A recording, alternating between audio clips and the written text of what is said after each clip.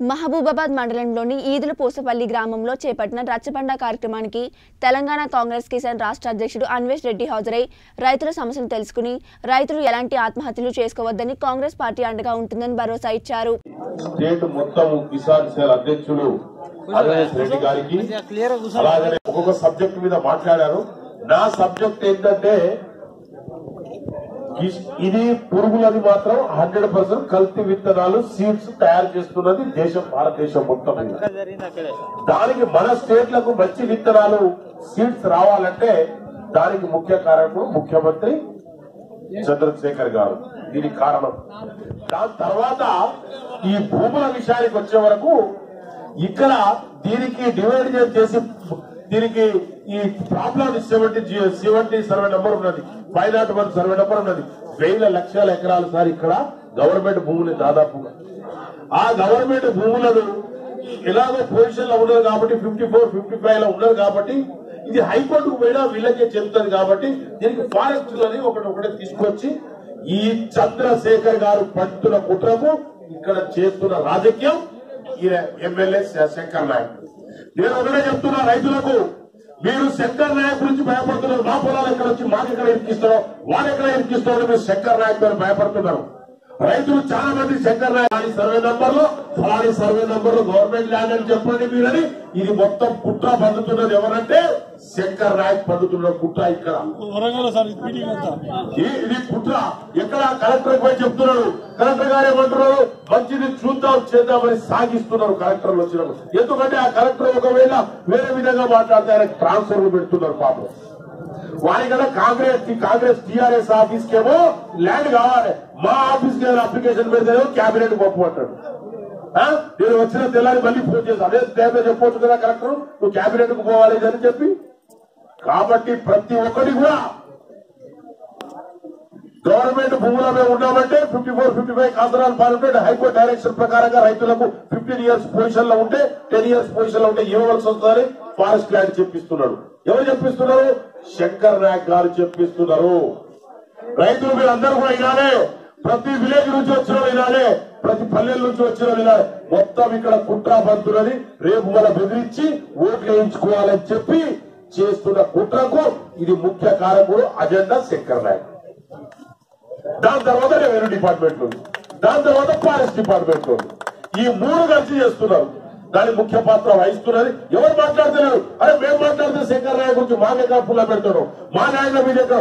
వాళ్ళ నాయనకు వారి నాయనలు మొత్తం కబ్జాలు చేస్తున్నాం మొన్న ఒకటి మన లక్ష్మీరామ్ నాయక్ వాళ్ళ కూతురు ఆమె ఎస్పీ భార్య ఆమె అది ఎప్పుడో దానికి హౌసింగ్ బోర్డుకి ఇచ్చిన దానికి ఆరు ఎకరాలకు వేసుకుంటే మొన్న నేను గడబడి చేస్తే తగ్గింది. ఫిఫ్టీ వన్ సర్వే నెంబరే గవర్నమెంట్ ఏకైనా చదువుతుందా ఇంకో సర్పంచ్ బినామీ పేరు మీద పెట్టిస్తాం నా కూడా ఒక సెంటు భూమి ఉంటే సవాల్ చేయండి రచ్చబండ కాదట. వాడితో సవాల్ చేస్తుండ నేను వాడే దొంగ దొంగతో నేను ఇక్కడ సవాల్ చేస్తానంటే వాళ్ళు నాకు సవాల్ చేయమంటారు. దమ్ముంటారా క్లారిటీ చెప్తాం. నువ్వేం డెవలప్ చేసినావు? నేనేం డెవలప్ చేసినావు? రా చూద్దాం కూర్చుందాం. అంతే ప్రజలకు అందరికి కూర్చుని పెడతాం ఆల్ పార్టీస్ను కూర్చుని మాట్లాడతాం ఆల్ పార్టీతో కమిటీ వెళ్తాం. సిపిఐ సిపిఎం ఎంఎల్ పార్టీ అందరితో చేసి మాట్లాడతాం అంతేగాని నీతో నేను కూర్చునేదేంటి నీదో పార్టీ నీదో కథ. మేము తెచ్చిన తెలంగాణ పోరాటం చేసి సోనియా గాంధీ దగ్గర హౌస్లో కొట్లాడి తెలంగాణ తెచ్చింది మీరు కాదు. సోనియా గాంధీ బిడ్డలు చనిపోతున్నారు రైతులు చనిపోతున్నారు తెలంగాణ ఇచ్చింది సోనియా గాంధీ. రైతుల పక్షన రైతుల ఇష్యూ ఏంటిదో తెలుసు వాళ్ళకు. రైట్ ఇన్ఫర్మేషన్ యాక్ట్ ఇచ్చింది ఎవరు? ఇలా సాఫ్ట్వేర్ తెచ్చింది ఎవరు? ఇవన్నీ కూడా కాంగ్రెస్ పార్టీ తెచ్చింది. రైతుల పట్ల బీదల పట్ల వంద రోజులు చేసింది ఎవరు? హైవే కేసులు రోడ్లు తెచ్చినట్టు కేంద్ర విద్యాలయాలు మోడల్ స్కూల్స్ మొత్తం చేసింది కాంగ్రెస్ పార్టీ. ఈ పార్టీ కనుక కాంగ్రెస్ పార్టీ గాంధీ ఫ్యామిలీ చేసింది ఇప్పుడు ఇలా ఘనత. ఈయనేదో శంకర్ నాయక్ వచ్చి భూములు కబ్జాలు చేసినప్పుడు నేను కూడా ఒక క్లారిటీ ఉందట రచ్చబండ రాట తమ్ముంటే నేను ఒకటే చెప్తున్నా. ఆల్ పార్టీస్ బిలో నన్ను బిలో వస్తా మరి వేరుతో చూసుకుందాం. ఎవరేం డెవలప్ చేసిండ్రు ఎవరేం చేసిండ్రు? మీ ఎంపీలు ఏం చేసిండ్రు మీ ఎమ్మెల్యే రైస్ మిల్ ఏమో అక్కడ రెడీ లేకపోతుంది ఇక్కడ ఏమో వీళ్ళకి పోతుంది కాబట్టి దయచేసి ఎంత కష్టం చేసినా మన మన ముప్పై ఏళ్ళు మన తాతలు మనం ఒక నాలుగు ఎకరాలు సంపాదించలేదు. ఇవాళ మన దగ్గర ఒక్కొక్క శాసనసభ్యుడు మూడు వందల ఎకరాలు నాలుగు వందల ఎకరాలు కొన్ని మనం అర్థం చేసుకోవాలి. టీఆర్ఎస్ గవర్నమెంట్ ఎంత చేస్తుందో మనం అర్థం చేసుకోవాలి. మనం ఊరు ఊరు తీసుకుని ఊరేస్తే పూజాక మనకు. ఎందుకంటే జీనే మన ఊరి బిడ్డ. కొన్ని రోజులు బిడ్డని బతకమన్నాడు. అయితే ఊరంటాడు ఊరంటే ఊరంటాడు ఆయన భావనలో మాత్రం మనకు ఆయన ఇచ్చేది ఏం కిట్ అంటాడు కొట్టాడు కళ్యాణ లక్ష్యం అంటాడు ఇవన్నీ మా అంటే రైతు సంఘానికి అధ్యక్షుడి మేము ఒక చిన్న కార్యక్రమం మొదలు పెట్టుకున్నాం. రాష్ట్ర వ్యాప్తంగా ఊళ్ళలో రచ్చబండ అంటే ప్రతి జిల్లాలో ఏదైనా ఒక గ్రామంలో రైతులతో రచ్చబండ. ఏం పంటలు వేసినాము ఎంత పెట్టుబడి పెట్టినాము ఏం పురుగు తింటున్నారు ఏం మందు పెట్టినాము అది ఎప్పుడు నలుగురు ఉద్దేశం కూడా మీ మీ ప్రాంతాలలో ఏ పంటలు పండిస్తున్నారు మీ పంటల కొనుగోలులో ఏ రకమైనటువంటి ఇబ్బంది పడతా ఉన్నారు? మిల్లర్ ఏం దోస్తున్నారు? సెంటర్ వాళ్ళు ఏం దోస్తున్నారు? ఎంత మిగులుతుంది? మిర్చి పంటలో ఉన్నటువంటి ఇబ్బందులు ఏంది? భూ రికార్డులకు సంబంధించినటువంటి పట్టాల విషయంలో ఏ రకంగా మీరు ఇబ్బంది పడతా ఉన్నారు? కొందరు బాధతోటి చివరి చెప్పుకోలేక చచ్చిపోతున్నారు. కాబట్టి మీ దగ్గర ఉన్నటువంటి ఇబ్బందులు అంతిమంగా రైతుకి ఏం కావాలి? ఏం చేస్తే బాగుంటది అనే ఒక విషయాలు తెలుసుకొని మనమంతా ఏం చేద్దాం? ఏమైతే రైతు బతకగలుగుతాడు అనే ఒక ఆలోచన కోసం తీసుకున్న ఒక రకమైన బాధ. అట్లా మీరు మాట్లాడండి. మీరు ఏం పంటలు పండించారు వరి ధాన్యములు కొనుగోలు ఏంది అంటే మాకు ఏం కావాలన్నది మీరు మనసు పెట్టి మాట్లాడితే మళ్ళీ మేము ఏం చేద్దాం అనేది మేము మాట్లాడతాం. దయచేసి మోమాటం ఏం లేదు. మీరు చెప్పకపోతే మాకు తెలియదు. సరే సార్. అది వాళ్ళు చెప్తుంటే విన్నాం తప్ప మాకైతే తెలియదు. అట్లాంటి మార్కెట్ని ఈ రోజు వరకు ఇక్కడ ఉన్న ప్రభుత్వ అధికారులు కానీ ప్రభుత్వం కానీ ఎవ్వరు కూడా కనీసం ఇంత జరుగుతుంది రైతుల ఈ రోజు వరకు కూడా గవర్నమెంట్ ఎలాంటి రెస్పాన్స్ లేకుండా ప్రభుత్వం తరపు నుంచి గవర్నమెంట్ నుంచి వీళ్ళకు సలహాలు సూచనలు ఏ మాత్రం ఇవ్వకుండా మీరు ఇది చేయండి అది చేయండి అనకుండా బాగా ఇబ్బంది పాలే రైతుల్ని దాని తోడుగా ఈ రోజు మళ్ళీ ఇప్పుడు యాసంగి సార్ వాటర్ అనేది వాళ్ళు మరి ఎందుకు కట్టిరు ఆ కాలేజ్ ప్రాజెక్ట్ కట్టి మీరు ఒరేయద్దు ఒరేస్తే చాలా ఇబ్బంది అవుతుంది అనేది వాళ్ళు చెప్పే మాటలకు రైతులు చాలా మంది ఆత్మహత్యలు చేసుకుంటారు సార్. దీని మీద తమరు బాగా సీరియస్గా తీసుకొని ఇది ముందుకు తీసుకెళ్ళి తగు న్యాయం చేయాలని కోరుకుంటున్నాం సార్. ఇంత మంచి కార్యక్రమానికి వచ్చినందుకు మీకు కృతజ్ఞతలు తెలియజేస్తున్నాం సార్. థ్యాంక్ యూ పరిధిలో నాలుగో వార్డు. గాంధీపురంలోని అసైన్ అసైన్ భూములు మాకు గతంలో పంతొమ్మిది వందల డెబ్బై ఏడులో మాకు లావన్పాట భూములు సర్వే చేసి పాస్బుక్లు ఇచ్చారు సాగులో ఉన్నాయి సార్ మాకు భూములు.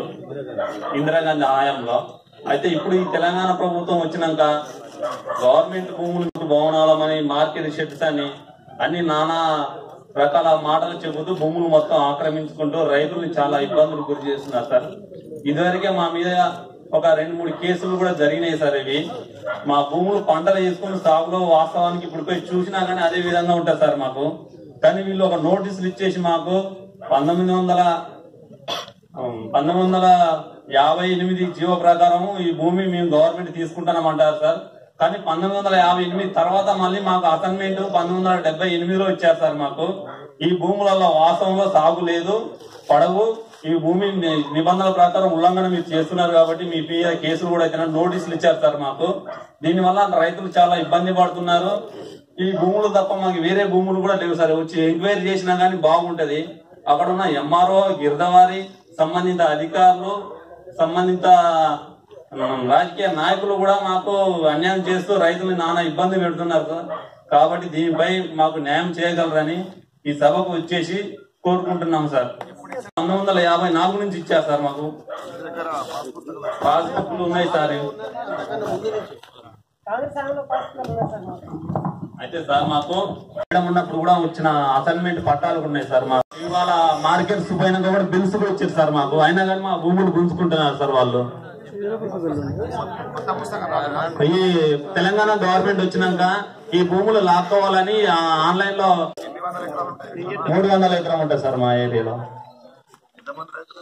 ఒక డెబ్బై నుంచి ఎనభై మంది ఉంటారు సార్. ఈ గవర్నమెంట్కు తొత్తు లేక మారి రైతులు వీడు తప్పు చేసిండా ఉప్పు చేసిండా అనే ఆలోచన లేకుండా డైరెక్ట్ నాన్న కేసులు పెట్టి బనాయించకుండా ఇబ్బందులు గుర్తు చేస్తున్నారు సార్ మా గాంధీపురంలో టూ ఇయర్స్ ల్యాండ్ విషయంలో. చేసినాము. లిఫ్ట్ కూడా నడుస్తాను సార్. కాకపోతే ఈ మధ్యలో ఏమైందంటే ఆ రైతులు కొంతమంది కలిసి ఉండలేక కొంత భూమి సాగులో గుట్టలలో బ్లాస్టింగ్ జరిగి చేయలేకపోయారు సార్. అందువల్ల ఆ మిషన్ లిఫ్ట్ ఇరిగేషన్ ఆగిపోయింది సార్. మోటార్లు ఖరాబ్ అయినాయి. దాని విషయంలో కూడా సమక్షంలో కూడా తిరిగి మొత్తం ఎస్టిమేషన్ వేయించినాం సార్. అయినా కానీ తర్వాత మళ్ళా కొన్ని అన్నవారి కారణం వల్ల ఆగిపోయింది సార్ అది ఇప్పుడు. మిర్చి వరి కంది జొన్న. వరి ఇప్పుడు గవర్నమెంట్ కమ్మింది సార్. బిల్స్ కూడా ఉన్నాయి సార్ మా దగ్గర అమ్మినట్టు.